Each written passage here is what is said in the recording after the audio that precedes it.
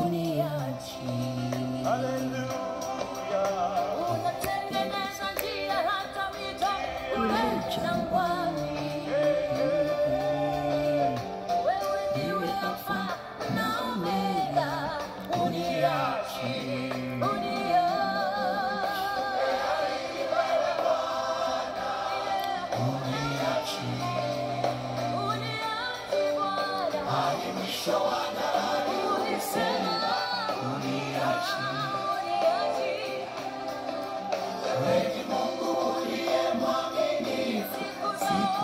Siku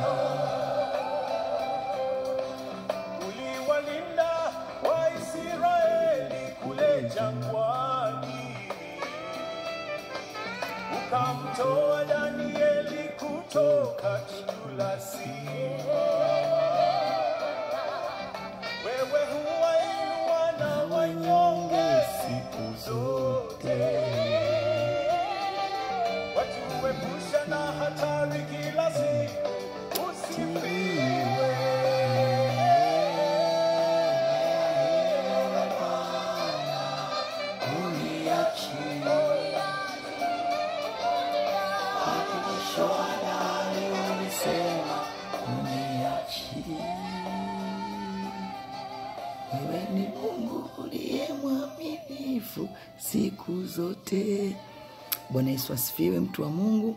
Bwana Yesu asifiwe sana. Ninamshukuru Mungu kwa ajili ya neema na kibali alichoachilia siku ya leo, tena niweze kurekodi uh, hii video kwa ajili ya kusema na mtu mmoja au watu wawili watatu, na kusema na kusanyiko kwa ajili ya neno la Bwana ambalo ndio tunajua ndio nguzo yetu, ndio ngome yetu, ndio silaha yetu, ndio maisha yetu, ndio uzima wetu, na neno ndiyo Mungu mwenyewe. Haleluya! Basi nina kila sababu ya kumshukuru Mungu kwa ajili yetu sisi wote pahali popote pale ulipo, ninaomba ukitaka kusikiliza video hii, sikiliza, usiikatishe, sikiliza vizuri sana, kwa sababu kuna kitu ambacho utajifunza na kuna kitu ambacho kitakupa majibu, kwa nini labda uko hapo ulipo, au ni kitu gani unatakiwa ufanye, ni hatua gani unatakiwa uchukue ili uweze kuvuka zaidi ya pale ulipo. Haleluya! Basi ninamshukuru Mungu kwa ajili ya neno hili zuri ambalo Mungu ameachilia siku ya leo. Tayari nilishamshukuru, basi ili kuokoa muda sitaki tena kurudia tena kitu kile kile, lakini ninapenda tuende moja kwa moja kwenye neno letu la leo ambalo linatoka katika kitabu cha Marko sura ya 8 mstari wa 22 mpaka wa 26, kitabu cha Mark chapter 8 verse 22 up to 26. Nitasoma katika jina la Yesu. Maandiko yanasema hivi: wakafika Betsaida, wakamletea kipofu, wakamsi amguse. Akamshika mkono yule kipofu, akamchukua nje ya kijiji, akamtemea mate ya macho, akamwekea mikono yake, akamuuliza, waona kitu? Akatabasamu juu akasema, naona watu kama miti inakwenda. Ndipo akaweka tena mikono yake juu ya macho yake, naye akatazama sana, akawa mzima, akaona vyote waziwazi. Haleluya! Ni neno ambalo mimi nalipenda sana, kwa sababu limeshanipigisha hatua nyingi za tofauti kulingana na hili neno. Nimelichukua kwa namna nyingi, ninalitumiaga kwa mafunuo mengi mbalimbali mbali ambayo yamenisaidia sana. Basi kwanza kabisa nataka nikuambie kwamba kitu cha kwanza ambacho Yesu alipokuwa akikutana au akiletewa wagonjwa au wenye shida mbalimbali, kitu cha kwanza alikuwa yeye anadili zaidi na imani. Haleluya! Imani ndiyo kitu ambacho Mungu alikuwa anakitumia katika kutenda um, jambo lolote na linatokea kwa ishara uh, kwa miujiza. Haleluya! Maana tunajua neno la Mungu liko wazi, linasema kwamba um, imani pasipo matendo, imani imekufa. Kwa hiyo Yesu mara nyingi alikuwa anatumia imani na hata kwa vitendo wakati mwingine. Tunaona kama hapa maandiko yako wazi. Huyu kipofu anapopelekwa kwa yesu anakutana na yesu. Kitu cha kwanza maandiko yanasema yesu alimshika mkono akamtenga akamtoa nje ya kijiji. Kwa hiyo tunaona kabisa unapokutana na yesu unapookoka kitu cha kwanza ni kutengwa. Yesu lazima akutenge katika ulimwengu wa roho anakutenga na kule kukutenga katika ulimwengu wa roho. Mara nyingi sana tuliopitia wokovu tumeona na hata wengine bado wanaendelea kuona na wengine wanaona kwao kama ni changamoto. Lakini ni kutengwa katika ulimwengu wa roho. Yesu lazima akutoe kwenye mikono ya adui na kukuingiza katika eh, imaya ya pendo lake kwa hiyo hakuwezi kukawa na hali shwari hata kidogo. Tazama ulikuwa kwenye giza unaingizwa kwenye nuru. Lazima lile giza ulipokuwa umewekwa kule adui alikuwa anajua kuna vitu anavifanya akiwa gizani. Lakini anakuona umetolewa kwenye giza umeenda kwenye mwanga. Kuna mambo mapya unaenda kuyaona kuna vitu vipya unaenda kuvipokea.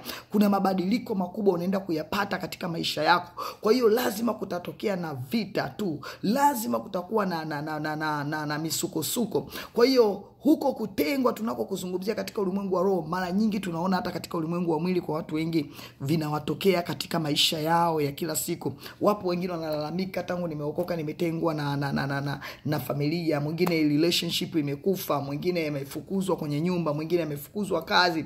Kwa hiyo kuna vitu ambavyo vilikuwa vina connection na ule ulimwengu wa giza uliokuwa unaishi wewe. Kwa hiyo unapotengwa vina react mpaka kimwili unaanza kuona kabisa mabadiliko ma, ma, ma, mabadiliko unaingia u- nani chuki zinaingia inaingia wivu inaingia ku, ku, inaingia yani kwa vitu wengine wanapoteza mali wengine wanapoteza vitu wengine vya maana. Kwa hiyo kiasi kwamba mtu anakuwa anashangaa inawezekanaje mimi naokoka tena nilikuwa nategemea ndio nitakuwa salama? Okay pale ndio unapokuwa salama itimizi vile vinavyokutenga ndio vilikuwa vinahatarisha usalama wako. Kwa hiyo wewe usiogope. Sometimes unaweza ukatengwa kwa muda lakini baadaye mungu anatengenezaga mazingira na, na hali inakuwa inakuwa shwari kabisa. Haleluya. Kwa hiyo tunaona kitu cha kwanza mungu amini yesu anapokutana na huyu mtu kikubwa anachoenda kukifanya anamtenga na kijiji. Haleluya. Anamtoa kijijini. Anamweka pembeni sasa. Baada ya kumtoa kijijini maandiko yanasema hivi kwamba yesu akamtemea mate ya macho akamwekea mikono na mikono yake pale kwenye macho yake. Sasa kuna wakati mwingine unapokutana na yesu yesu anakukarabati yesu anakutengeneza ana, ana, ana, ana anakushepu vizuri. Kwa hiyo ndio kama hivyo unavyokwambia unaweza ukakutana na hali ya, ku, ya kukataliwa hali ya kutengwa hata kimwili sasa hali ya kuonekana ufai hali ya kuchukiwa. Yote hiyo ni yesu anakukarabati anaku anakushepu uende uendane sasa na hali ya watu ambao wat, ut, hali ambayo itakufanya uweze kusimama katika uokovu wako wako. Yamkini wale ambao anakutenga nao ni watu ambao wangeweza kukurudisha nyuma kwenye uokovu yamkini wale watu wangeweza kukufanya usipokee kile ambacho mungu amekiandaa kwenye maisha yako. Huyu yesu anampaka mate. Hebu tazama mate. Nani leo anaweza akakubali apakwe mate isi uta, utakuwa ni mtumishi wa kwanza ambaye utaleta gumzo kwenye mitandao ya kijamii kwamba jamani yule mtumishi eti akikuombea na kupaka mate kama unaumwa tumbo na kupaka mate sijui kwenye tumbo au kwenye kitovu au kwenye nini. Lakini kipindi hichi tunaweza mimi natumia haya mafunuo kwamba yesu alipomwekea mate ni kama vile uh, kitu kimoja tunaona kama mate kama vile tunaweza tukazungumza kama ni uchafu au kama vile labda ni kumdhalilisha au kum, kumtia aibu au kumchafua ni kitu ambacho kipo katika hali ya sasa hivi ya uokovu ili yesu akutengeneze na upone kuna watu wanapitia hali ya kudhalilishwa kuna watu wanapitia hali ya kuchafuliwa kuna watu wanapitia hali ya kutukanwa. Tena na watu waliokuwa wanaheshimiana nao walikuwa nao karibu warafiki zake wengine wanajua stori zake za zamani past stori zao. Kwa hiyo wanabakia ni unakuwa ni muda wanatumia huo ambao wewe umeokoka kukuchafua. Anaokoka naye nini? Mtu wenyewe alikuwa hivi mtu wenyewe alikuwa vile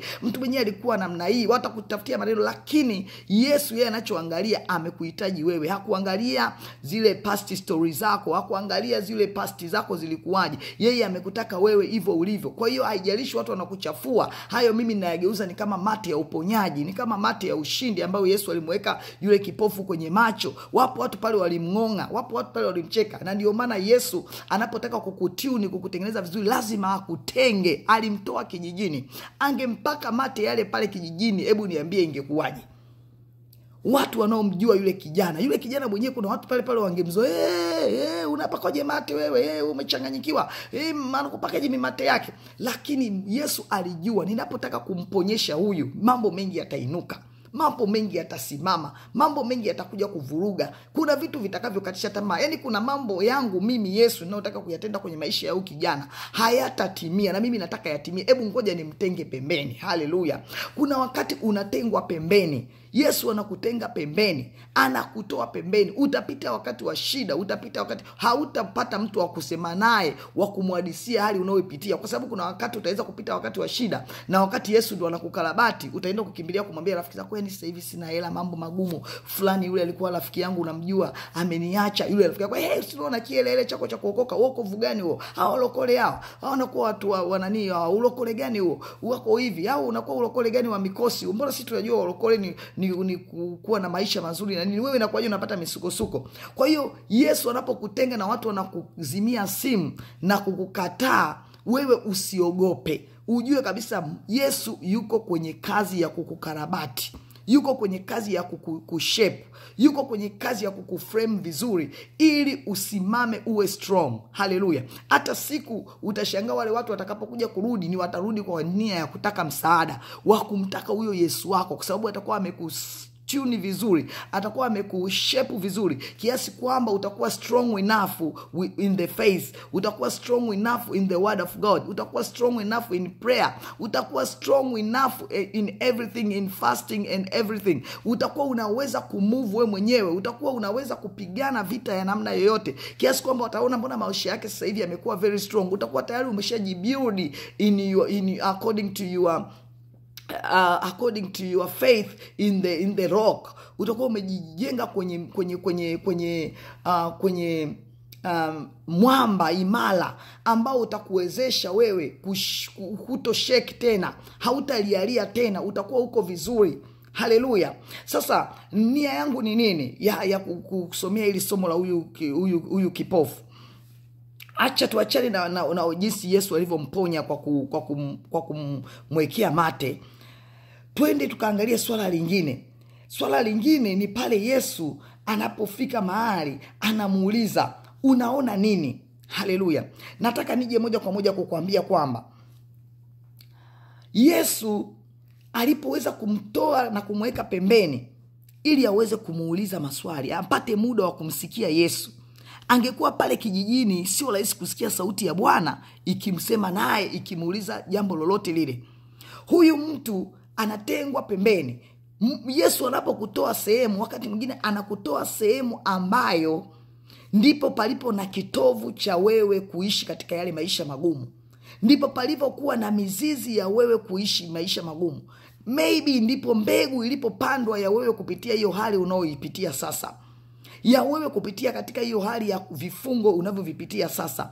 Kwa hiyo lazima akutenge akuweke mbali na zile connection ili apate kusema na wewe uweze kumsikia. Anatengwa pembeni anapakwa mate anaekiwa mikono. After that yesu anamuuliza unaona nini? Haleluya. Wapo watu wametengwa na jamii pale baada ya kuokoka. Marafiki wametenga lakini wao bado wanaendelea kuwafuatilia ku, wanaendelea kuwatafuta wanaendelea kuwatumia message wanaendelea kujipendekeza lakini hawajui kwamba wanajichelewesha kusikia sauti ya bwana akiwauliza waona nini. Huyu mtu alikuwa mwepesi na alijiachilia mbele za yesu. Anamwambia bwana naona miti kama watu ina, wanakwenda. Ebu angalia ni mtu ambaye alikuwa kipofu toka kuzaliwa hajawahi kuona macho yake hajui hata watu wanafananaje wala miti inafananaje. Lakini yeye aliamua kuwa mkweli na muwazi kwa yesu akihitaji uponyaji full package. Angekuwa mtu mwingine ambaye hujawahi kuona hata siku moja si tu japo kuona miti inaenda kama watu wongeona ungeona tu ndo ah, nimeshaona yesu asante nimeshaona. Na ndio watu wengi wanaopitia sasa hivi katika uokovu hawajafikia pale ambapo bwana anataka wafike. Wana wameridhika hawaendelei kuomba tena hawaendelei kufunga tena. Hawaendelei uh, kuhudhuria kanisani hawaendelei kutoa kujitolea kutoa kama ni sadaka kama ni kujitolea kwa mambo mbalimbali michango na nini makanisani kwa sababu kuna ishara wameziona. Mpendwa bado haujaona sawasawa. Bado haujaona waziwazi. Ulilia ulifunga ukaomba ukakesha ukosi kwenye mitandao kuangalia kufuatilia mahubiri. Kwa sababu ulikuwa unatafuta kazi umeipata ile kazi. After that wangapi wana kazi hawajafanya kitu chochote? Na nakwambia niko kwenye kazi miaka ishirini thelathini. Hana cha maana alichofanya. Wewe umepata tu kazi umeacha maombi wako watu walikuwa wanatafuta ndoa au mu, mchumba. Ameingia kwenye maombi amepata mchumba hajawahi kupata hata mtu wa kumsalimia miaka. Mpaka anafika karibia miaka mingapi sijui ya umri wake. Anapata yule mtu wa kumsalimia tu. After that ana cut off kanisani. Maisha yanaishi yana, yana wokovu yanaisha pale anasitishwa, ameshampata. Hujawahi kukuta watu wanavalishwa mpaka pete ya uchumba na ametolewa mahali na naachwa hujawahi kuona mtu anakataliwa kanisani? Hujawahi kuona mtu anasubiri bwana harusi kanisani na bwana harusi atokei anasubiri bibi harusi kanisani na bibi harusi atokei haujawahi kuona kitu kama hicho mtu ambaye ameshamtolea mwanamke mali mwanamke anamkataa anaenda kuolewa anaenda kuishi na mwanaume mwingine au namna gani? Ni kwa sababu gani? Wameona miti kama watu ikienda wakajua ndipo tayari wameshaona. Yesu anakuuliza unaona nini? Hauna muda wa kumjibu. Umerudi kijijini lakini maandiko yanasema yesu akampeleka nyumbani kwake akasema hata kijijini usiingie tena. Yesu hataki turudi kule zamani hataki turudi kule kwa zamani hataki kwa sababu anajua kule ndio kuna vyanzo vinavyotesa maisha yetu. Kule ndio kuna sababu zilizotufikisha pale tulipo. Haiwezekani ukawa umeokoka lakini ukabaki to the same I mean, friends to the same companies lazima upate marafiki wapya ambao mtaongea kwa lugha moja inayoelewana. Lazima u, u, upate watu wapya ambao mtamshuhudia kristo yesu. We unakaaje na watu wanaanza kuponda watumishi wa mungu kuanzia asubuhi mpaka jioni? Ha yule mtumishi fulani ha yule mungu ha yule amefanya hivi ha yule amefanya hivi. Utaokoka utaweza kusimama kweli katika uokovu unakaa na watu wanasema hamnaga wokovu duniani bwana. Nani amekwambia? Nani aliwahi kwenda huko mbinguni akaona kuna wokovu? Unaweza ukasimama kweli kwenye wokovu? Hautaweza. Lakini nataka nikwambie kitu. Toka kijijini. Toka kijijini. Yesu amekutenga. Ebu simama na huyu yesu. Ebu heshimu kutengwa kwa yesu. Kwa sababu kuna jambo anataka kulitenda akiwa yeye na wewe tu yesu kwa nini akuchague wewe aache wale rafiki zako? Kwa nini akuchague wewe aache wale ndugu zako? Kuna jambo anataka kulitenda. Yamkini kupitia wewe na wale nao watafuata. Yamkini kuna mambo yesu anataka kutenda. Haiwezekani yesu akakuokoa bila sababu. Always there are the purpose of god. To call you. Kwa hiyo kuna sababu ambayo yesu ameiweka. Anakuita kwa makusudi anakuokoa kwa makusudi. Kuna watu anataka waokolewe. Kuna watu anataka wafunguliwe. Kuna familia anataka ipone. Kwa hiyo wewe simama. Wewe kubali haiwezekani ukaokoka gafa watu wakakuchukia. Hujue lazima kuna kitu. In, lazima kuna kitu. Haleluya. Lazima kuna kitu unaokoka hupati kile unachostahili. Kwa sababu gani? Kuna mahali umekosea. Kuna mahali haujatii. Eidha unashindana una na yesu anapokupaka mate unatoa mikono yake. Eidha unapoulizwa huna la kujibu. Kuna watu wame, wana, wame, mungu amefungulia milango ya, ya, ya, ya, ya baraka. Imekuwa kama bomba tu koki imefunguliwa kidogo vinatoka tu vimaji vitone tayari. Anasema asante. Nimeshaokoka tayari asante. Nimeshabarikiwa tayari asante. Nimeshamwona yesu. Lakini sio mpango wa yesu. Mpango wa yesu ni wewe ubarikiwe mpaka ushangae. Mpango wa yesu ni wewe uone kila kitu waziwazi mpango wa yesu ni wewe uinuliwe kwa viwango vingine. Huo ndio mpango wake. The god of wonder sign and miracle. Huyo ndio mungu wa ishara maajabu na miujiza. Wewe mwenyewe ndio wa kujitendea miujiza. Wewe mwenyewe ndio wa kung'ang'ania mpaka ufikie mahali fulani. Wewe mwenyewe ndiye wa kuhitaji ile neema huyu bwana aliguswa tena na yesu kwa sababu alitaka aguswe tena na yesu. Mahali ambapo ulikuwa unataka yesu akufikishe bado hajakufikisha mwambie yesu niguse tena. Ninahitaji kuguswa tena. Ninahitaji ile neema. Ninahitaji kuona waziwazi. Bado naona kidogo. Bado naona kidogo. Nataka nione waziwazi nataka baraka zangu nizione waziwazi. Haleluya. Ninapenda sana yesu atende mambo makubwa kwenye maisha ya watu kwa sababu ninaamini anaweza. Na hawezi kutenda pasipokuwa na connection. Lazima kuwe na connection between you and god. Ndipo kitu kinapotendeka. Kwa sababu kusipokuwa na connection huwezi kumtukuza huwezi kumshukuru. Huwezi kujua kama ni yeye ametenda. Haleluya. Kwa hiyo ninapenda sana nikusisitize maombi yangu kwako na ombi langu kwako kwa hii message. Jichunguze. Wapi mambo yajawa sawa? Kwa nini umeridhika hapo ulipo? Tunatakiwa sisi kukua utukufu hata utukufu. Ndipo neno la mungu linavyosema.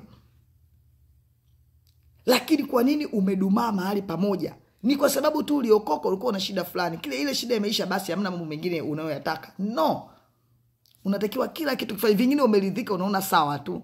Unaona ah, ni vita. Ah, ni vita. Unajua ni vita. Unajua wokovu ni vita. Lazima uishinde hiyo vita. Usiishi kwenye vita. Lazima uishinde. Uende viwango vingine ukutane na vita ingine na yenyewe uishinde. Upande viwango viwango viwango vingine. Haleluya. Huyu angetaka ang'ang'ania abaki kuona miti kama watu angedumaa angebaki hapo lakini akasema no touch me again alitaka aguswe tena ili aone wazi wazi. Haleluya. Ninajua hapo ulipo unatafakari unafikiria kwa nini huko tu hapo ulipo? Lazima uone wazi wazi. Usipokuwa na sababu ya huyu yesu kukugusa mara ya pili nitakushangaa. Ninataka yesu aguse maisha yako mara ya pili. Uweze kuona watu waziwazi wazi. uweze kuona kila kitu waziwazi wazi. uweze kuona shida iliyoko kwenye maisha yako waziwazi wazi. uweze kuona vile unavyoviona kwenye ndoto. Uje kuviona waziwazi haiwezekani we kila siku unaota haiwezekani we kila siku unatabiriwa hey, wewe utakuwa viwango vya juu wewe utakuwa mtumishi mkubwa wewe utazaa wewe si utaolewa. Nimekuona kabisa umevaa shera nimekuona umevaa suti nimekuona si unaendesha gari nimekuona